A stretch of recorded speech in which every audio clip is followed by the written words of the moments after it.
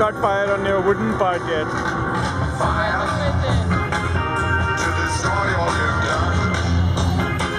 Is that mine? what have you done to mine?